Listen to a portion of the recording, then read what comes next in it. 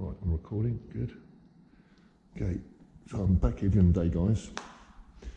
Just for some photos mainly. So I'm going to crack on with the photos. Mainly recording for my protection, but a bit of video as well. So let's get some photos done.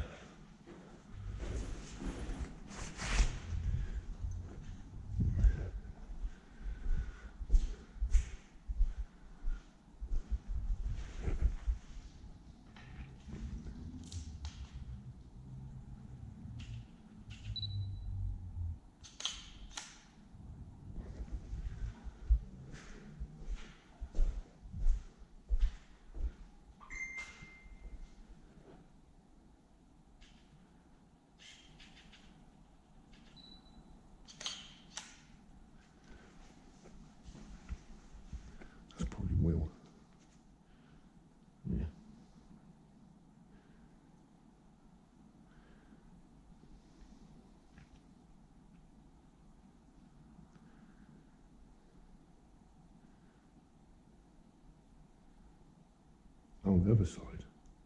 I looked in the wrong building.